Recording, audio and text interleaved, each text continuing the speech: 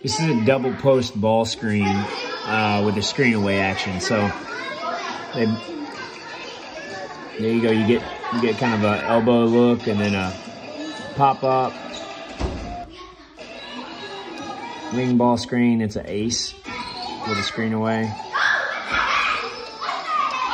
My biggest concern is this girl rolling to the basket. That's it.